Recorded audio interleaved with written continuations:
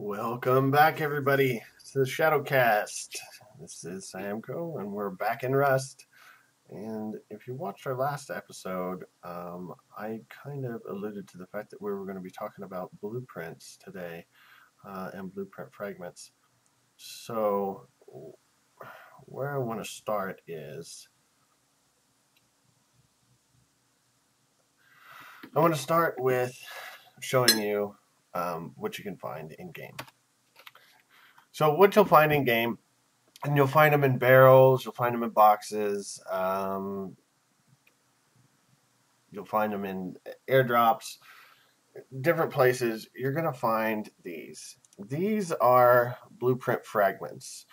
It says scraps of various blueprints, collect 20 to construct a blueprint, or 60 to create a blueprint page. Um, so basically, it's just little torn corners of blueprints and things. And after their thinking is, is after you'd have enough torn corners, then you'd probably be able to make a whole blueprint of something. And I love this system. I don't know whose idea it was, but it's great. Um, so you need to have 20 of these blueprint um, fragments to make this a blueprint page.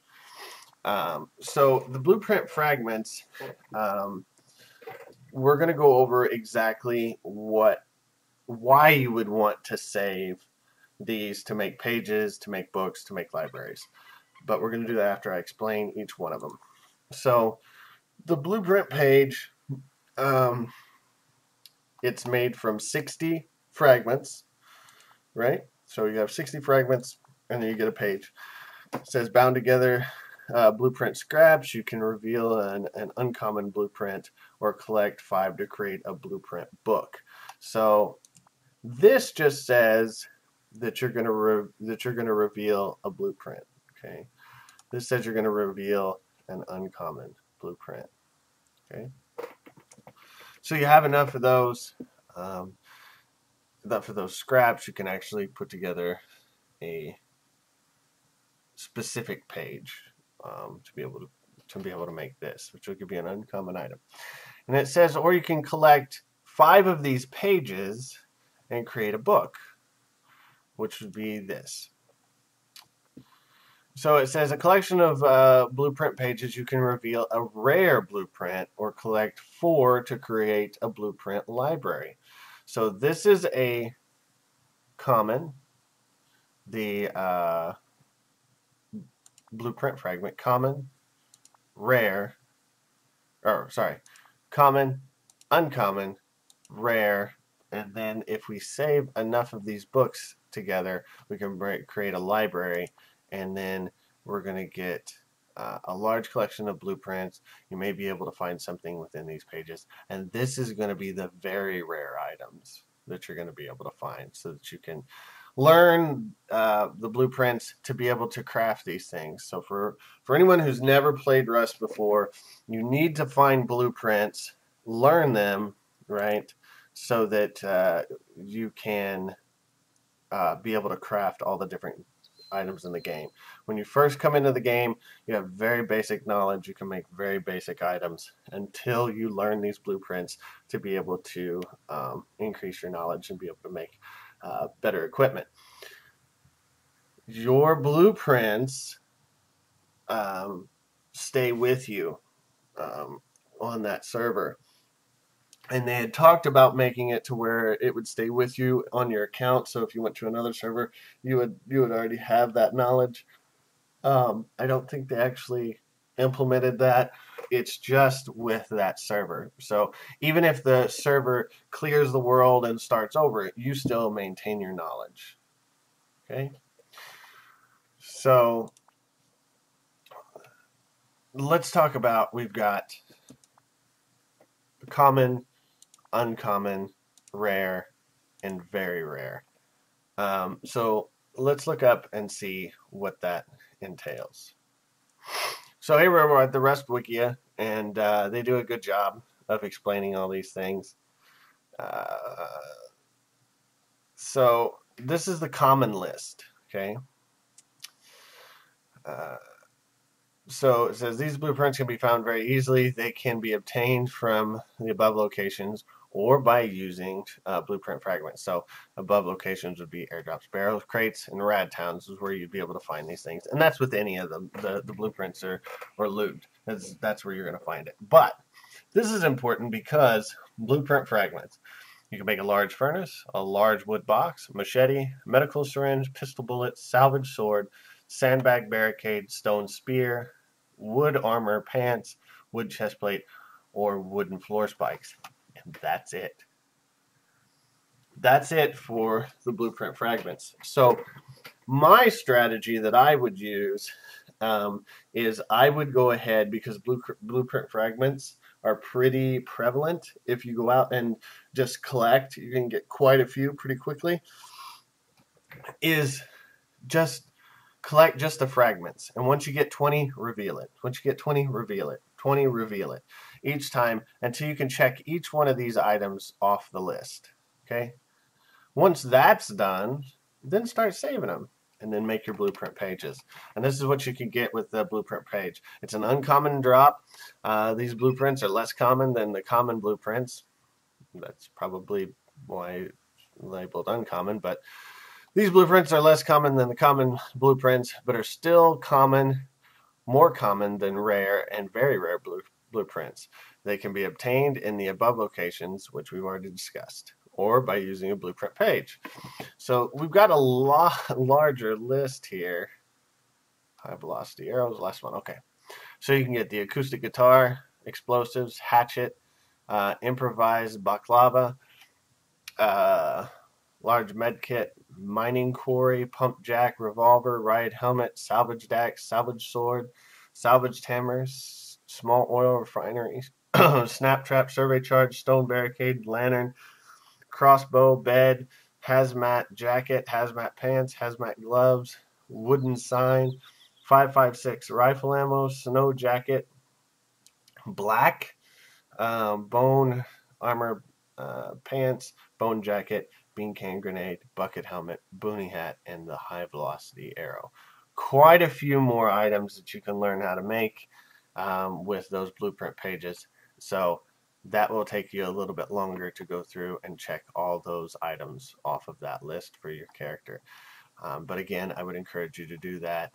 Um, save, do all your blueprint pages, do all of these things, um, and then move move on. Um, once you've moved on, you've got all your blueprint pages learned, go down to your blueprint book.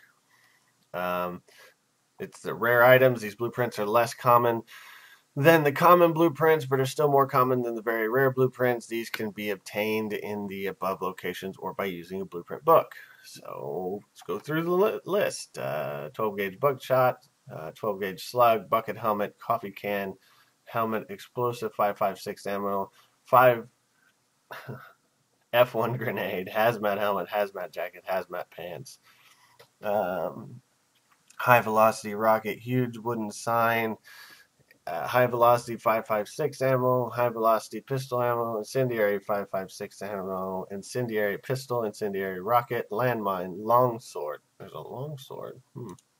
Well, look at that one. Oh, okay. Nice. Let's go back. Da, da, da, so let's see.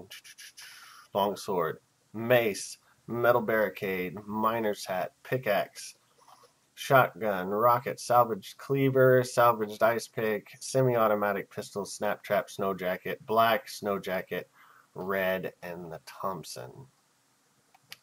So you can see things get better. And then we're going to go to the very rare. So once you have all those items, now you're now you're done with the books. You're going to go to the blueprint library. These blueprints are the hardest to obtain. They can be obtained in the above locations or by using blueprint library. And you're going to get most of your guns: assault rifle, bolt action rifle, custom SMG, metal chest plate, metal face mask, rocket launcher, timed explosive charge, silencer, high external stone wall, and auto turret. Um, so these are what everybody's going to go after um, eventually. So, and just remember while you're out collecting all those fragments to get all these pages, to make all those books, to make these libraries, you're going to be finding these blueprints themselves too. They haven't taken that out of the game. It's just made this a supplemental system of how you can take care of uh, those situations. So um, there are other. There's another use for these uh, items. So if you find, let's see, let's say this. We've got the bolt action rifle, right? We're going to put it in our research table, and it's going to say chance of success 30%. Here's the thing. What it's going to do is it's not going to take that rifle from you. It's just going to break it. So it's not going to be usable. Um, there's a way of boosting your chances. It says put your fragments in here. And I want to test this out. I haven't done this before. I want to put this book in here. Okay. Doesn't do anything. Let's try this book. Nothing. A page. Nothing. Some fragments. Nothing. Alright, let's try something else. Let's try giving myself 100. Alright, so now we've got 112. Let's see what happens. Let me put those in there. Wow. So 112 fragments um, only boosted it 7%. Wow. Hmm. So from the looks of that, only the fragments are going to be what's going to be able to use, and man, you would need a ton. But the research table helps because you're going to be beating your head against the wall once you get to those last few items in those lists. And that's all you need, and you keep getting everything else.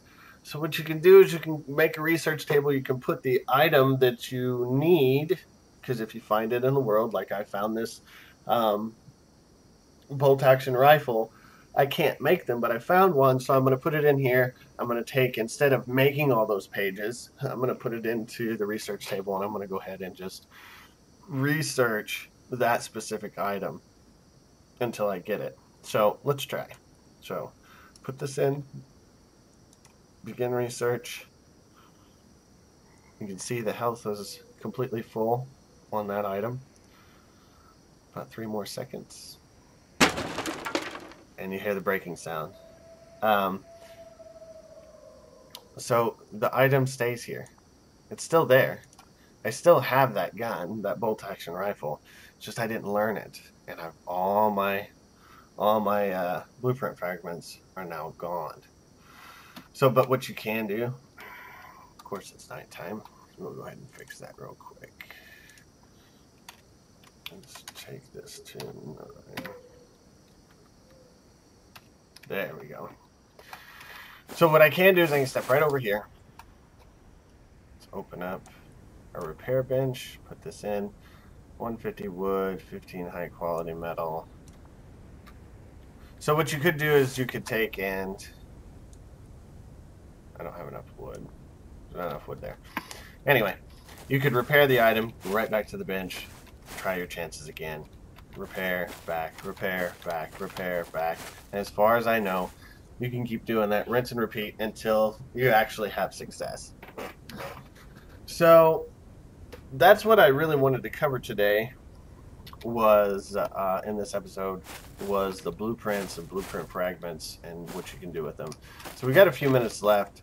So I think what I'm going to do is, first of all, I'm going to go ahead and drop that. I spawned those in just to show you guys.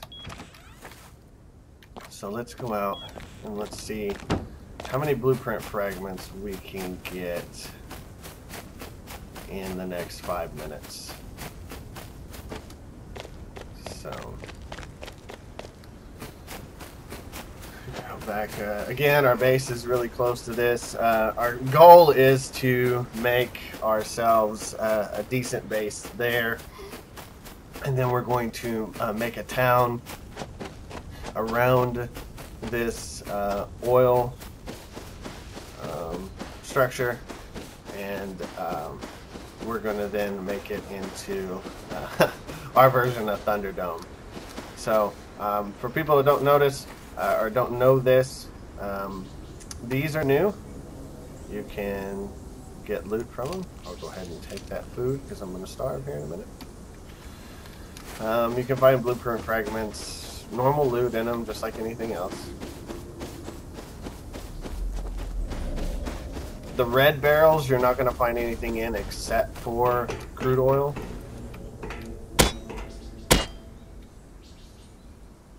Blood in a trash can, that's nice. Hmm.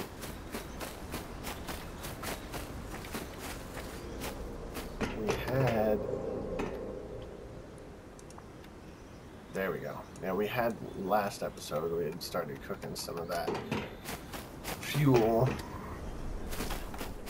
So, hello.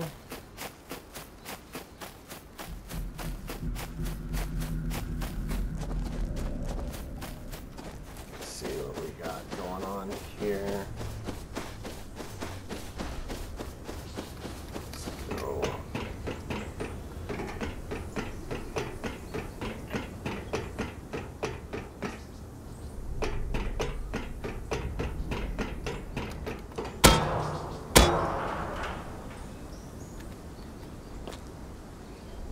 Blueprint fragment. So we got six there. Um,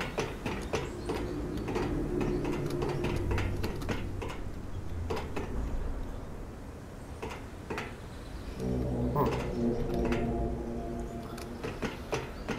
I thought this would have led inside. It doesn't. I'm wasting a lot of time. So we need to get up and in, which is over here. We got three minutes left. Hopefully we can, oh, goodness. Hopefully we can find more than six. That'd be kind of disappointing. Ah. Up the thing.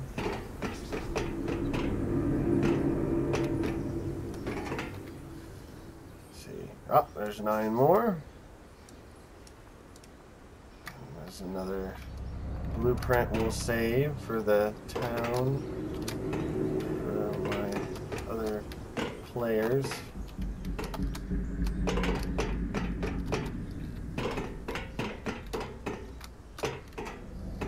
Ugh. I'm so gonna have to do something about this.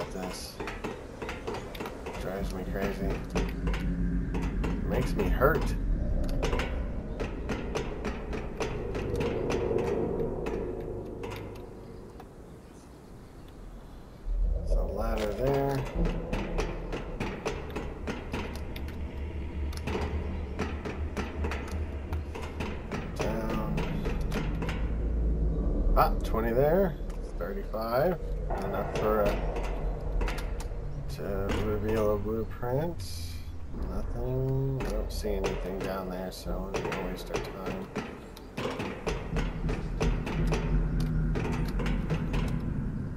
And you know, there's areas where it's it's not quite so difficult to to to get uh, up and around, and you could do this a lot faster. Rad towns, uh, different things. Let's see if I can make this jump. No. that was pathetic. I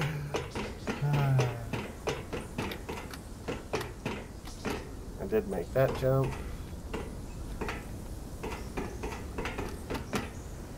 Made that one. Oh,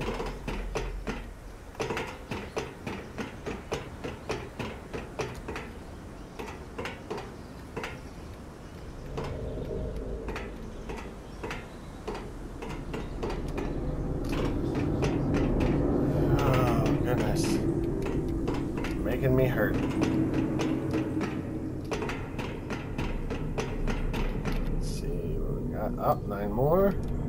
So as you can see, you know, it's they're pretty prevalent. I mean, you're gonna be able to find these things pretty easily. 13 more. We've almost got enough for a page already. Like I said, we haven't been doing this very long. Oh, I'm asking for trouble. I don't think I'm going to do that. Oof, made it. Let's see if we can get back to the top. This is how we ended our last episode. Maybe we can end it that way again. So that was the timer to say the episode should be over. Let's see if we can get to the top. What do we got? A landmine. Landmine blueprint. See, that's what I mean. You're going to be able to find these blueprints while you're looking for these fragments. It's not going to be that difficult to go through. Now, I also understand that I'm on a server that has nobody on it right now but me. Um, so, you know, I'm not getting shot at. They shouldn't even put a torch in one of these boxes up here. It's another 13. Or this, a bow and arrow. It's just, there should be better loot up here. Bean can grenade, there we go.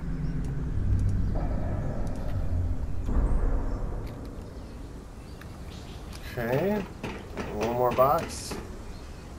And we got another C4. So, there you go. I mean, we've got 76 right now. Um, blueprints, and we did that in about six minutes. And that was climbing all over this. So just think how many you might be able to get if you were just running, breaking barrels, or going through a rad town. It would be a lot easier for you to do. So I hope you enjoyed this episode. I hope it was informative. I hope you learned something about the blueprint system in Rust. Uh, if you did, please uh, like, comment, or subscribe. Love to hear some feedback from you all. And uh, we hope to see you on the cogamers.net servers. Until next time, see you later.